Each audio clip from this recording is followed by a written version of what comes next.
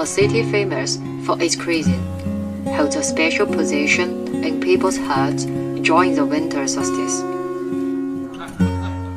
On this important day, mutton soup always awakens memories and the charm of the locals. On the winter solstice, the day is the shortest and the night is the longest. Having warm mutton soup is a ritual that people in Chengdu pay tribute to their lives.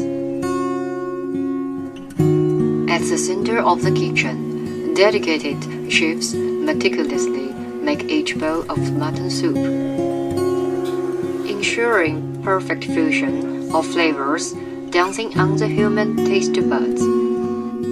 浓浓的肉汤不仅温暖了身体，也让我想起了家的味道。 这让提醒我们，冬至不仅仅是过往的一天。Because of this bowl of mutton soup, this winter